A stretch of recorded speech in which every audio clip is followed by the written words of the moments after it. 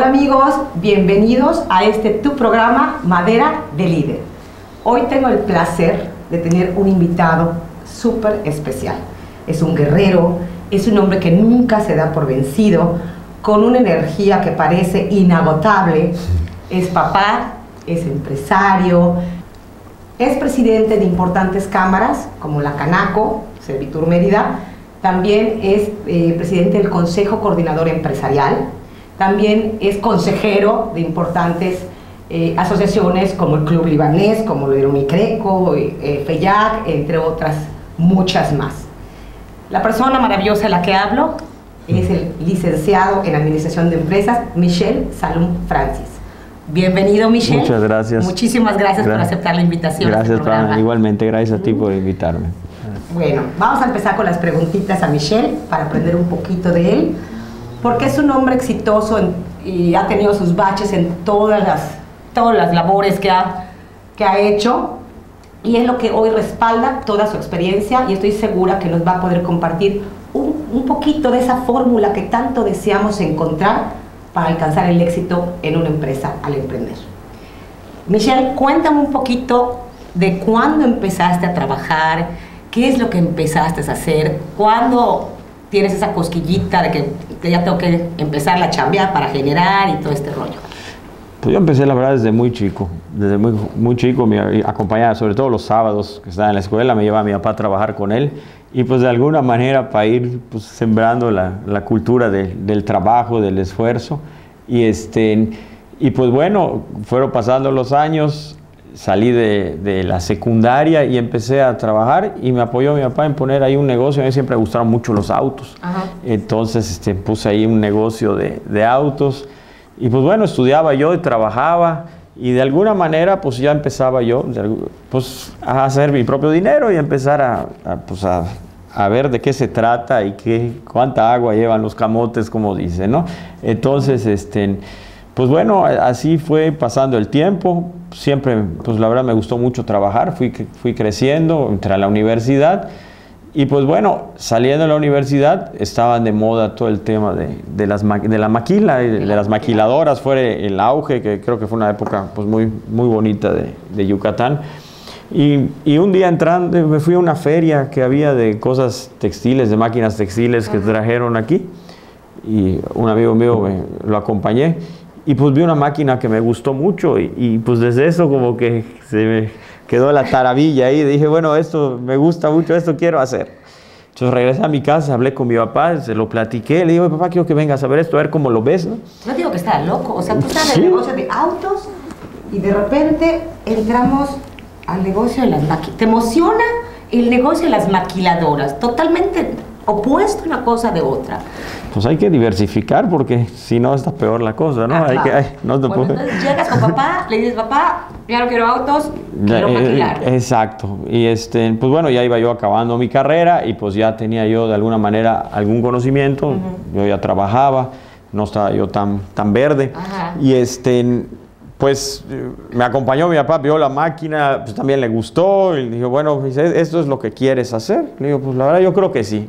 Seguro me dice, porque no, a cada rato vamos a estar este, eh, empezando cosas nuevas. dije, no, yo creo que esto me gusta. dice, bueno, esa va a ser tu herencia. Me dice, te voy a comprar tu máquina y que Dios te bendiga. Y, así fue. Pues me, apoyó a comprar mi máquina. Este, pues me, apoyó siendo aval pues, para el crédito que, que, pedí. Y pues se fue pagando poco a poco. Y pues fue, fue mucho trabajo. Y para ese entonces, pues la industria de la maquila comenzaba, eso fue en el 90, 96, por ahí más o menos. ¿Cómo calculaste la edad al decirlo? No pasa nada, ¿eh? las, canas no dejan. y, este, y bueno, y de ahí nos arrancamos y empecé yo a crecer pues, de una manera muy satisfactoria, sin descuidar la escuela, sin descuidar las calificaciones. Obviamente seguía yo, sí, yo la carrera, eh, bueno, terminé el último semestre, fue cuando pues ya le entregué mi título, mi título a mi papá, que pues que era, que era mi compromiso, ¿no? De hacer las cosas bien. Y, este, y me dediqué de lleno, me metí de lleno, empecé a trabajar pues, en, pues, un pequeño taller de bordado y hacíamos playeras y hacíamos estampados. Y pues bueno, como eran máquinas y no se cansaban, pues empezamos a trabajar 24 horas y empecé a meter eh, más gente y empezamos a tener varios turnos y empecé a comprar más maquinaria. Y pues bueno, fue, me tocó vivir el boom de, la, de lo que fueron las maquiladoras. Yo le trabajé a muchas de ellas, a muchas marcas importantes.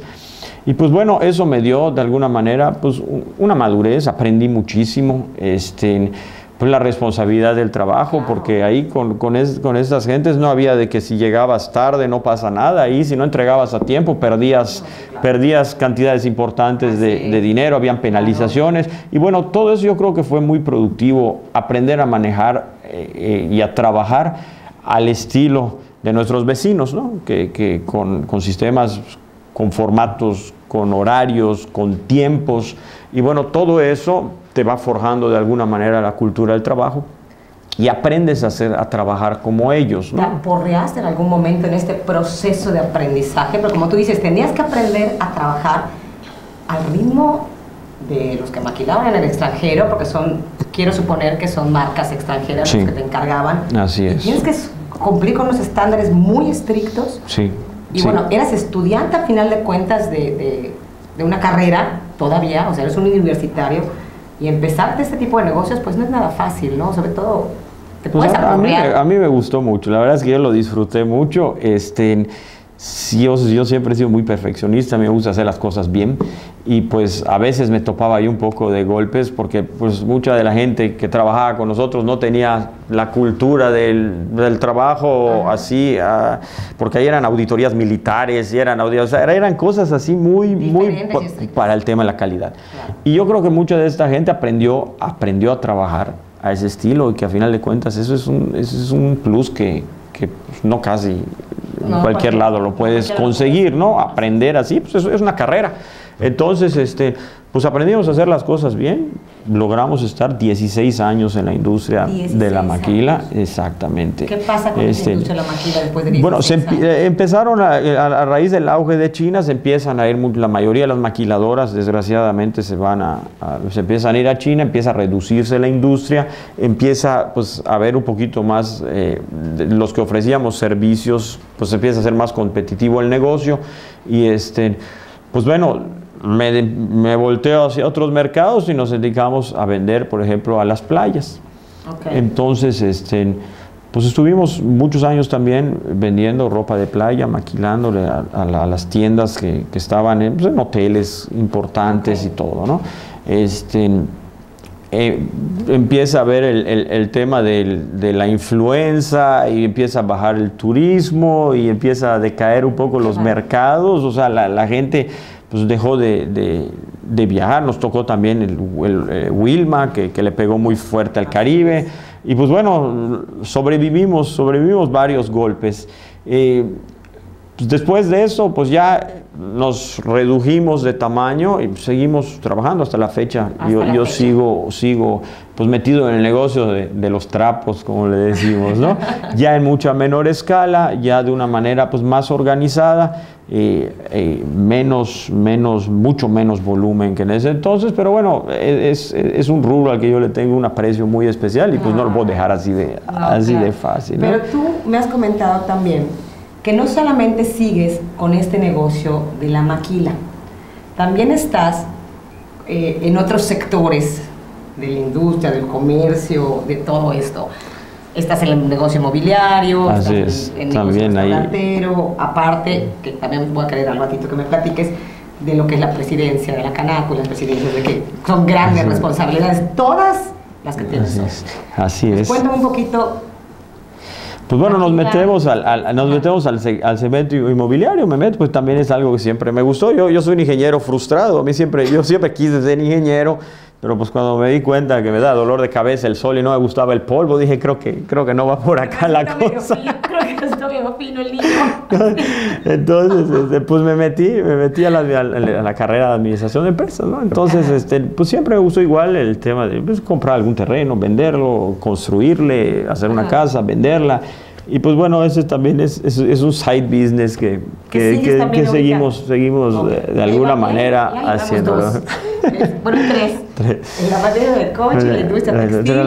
Okay. Así es. Y bueno, mientras todo eso pasaba, yo ya estaba en el, en el Consejo de la Cámara de Comercio. Yo, yo fui este, presidente de los jóvenes empresarios cuando tenía 18 años. O sea, Este, entrando no, a la ya carrera. Tiene, mu- ya tiene un respaldo de muchos años Muchos para años. haber llegado a la presidencia. Entrada a la carrera. Todo lo que te acabo de platicar, yo ya estaba en, en- en la Cámara de Comercio. Yo, yo empecé mira. ahí en el, en el Consejo.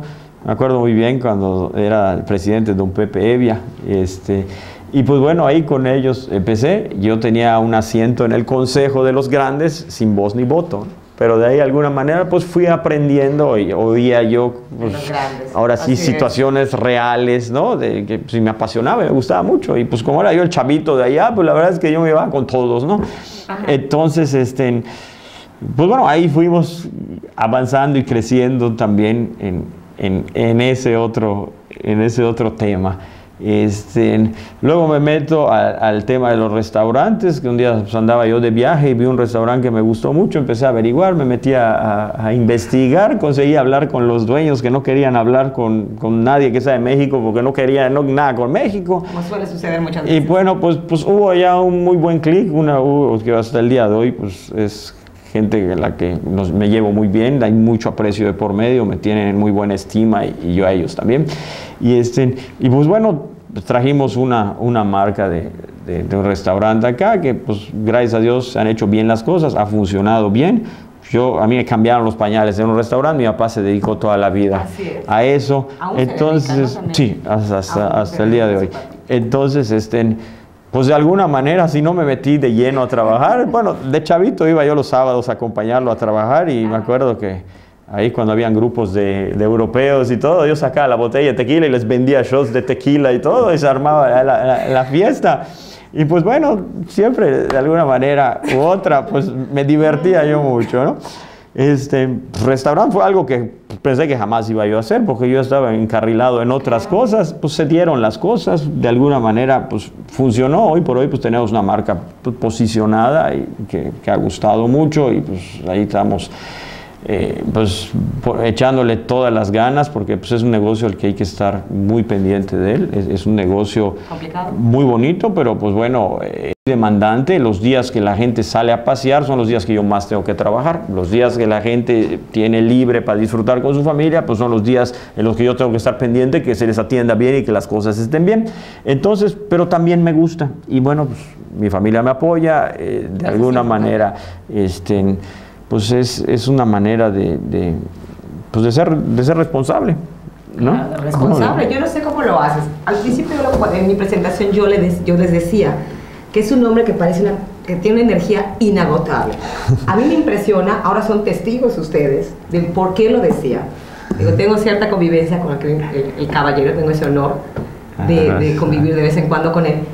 Y es impresionante, porque siempre lo ves con una sonrisa en la boca, siempre lo ves activo, siempre lo ves creativo, siempre lo ves eh, dando sus opiniones, siempre certeras, siempre con conocimiento de lo que dice. Entonces, a mí eso te lo admiro muchísimo, Michelle. Muchas gracias. Y hoy que me platicas tu historia, o nos platicas tu historia, de verdad digo, wow.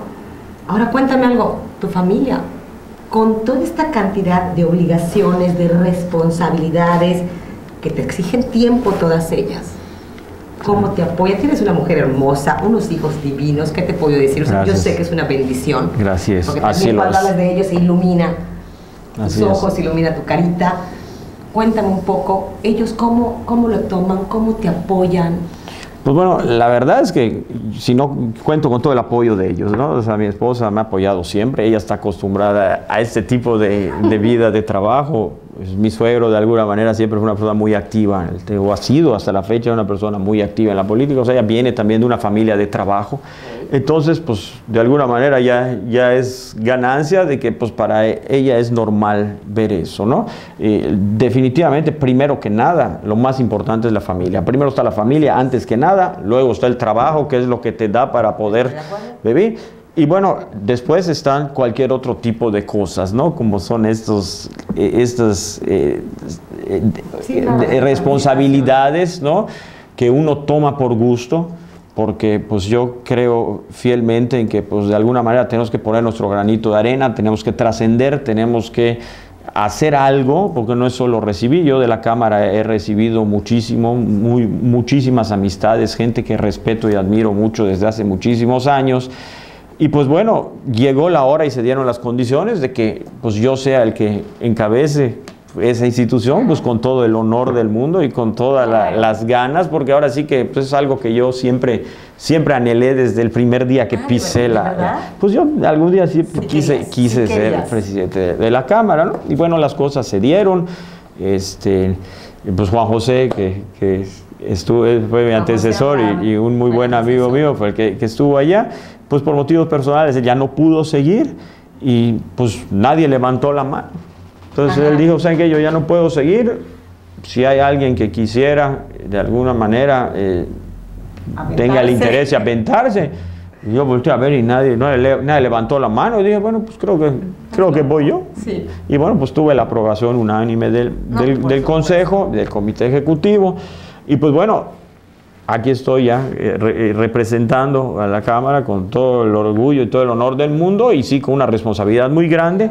Pues porque no se puede descuidar ni a la familia ni al trabajo, ¿no? Sí, es complicado. Entonces, este, pues ahí estamos. Me parece perfecto. Y la verdad es que es un orgullo el hecho de que nos representes Gracias. todo el mundo. Gracias. En la Cámara de Comercio, que también estés en el Consejo Coordinador Empresarial, estés en la FEYAC, participes en todo. Eres un hombre que tiene mucho que dar y mucho que enseñar. Yo creo que todo el mundo se ha percatado de eso y por eso Mientras Dios nos dé salud, yo creo que podemos echarle las ganas. Y que, Regálame un mensaje que le quieras dejar a la gente que nos ve de esa trayectoria tuya.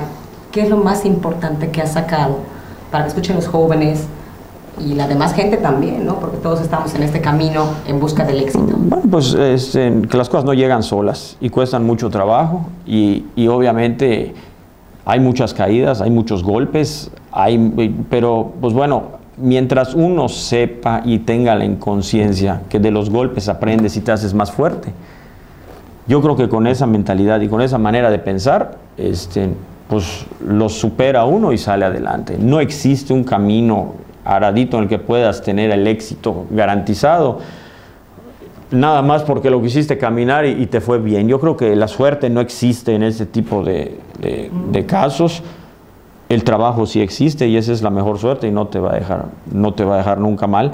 Este, no hay crisis que aguante mucho trabajo. Y pues de alguna manera eh, a los jóvenes yo les puedo decir de que pues la vida no está tan no es tan fácil y mucho menos mucho menos lo que viene. Eh, vienen momentos muy duros vienen épocas muy difíciles pero no imposibles. La cosa es querer hacerlo y trabajar cuando uno es una persona responsable, honesta, comprometida con el trabajo, lo que quiera hacer lo va a disfrutar siempre y cuando le guste. Porque no hay nada mejor que hacer lo que te guste y que además te paguen. Entonces, chavos, a los chavos que hagan lo que se guste. Si tienen un sueño, que lo persigan y que lo logren.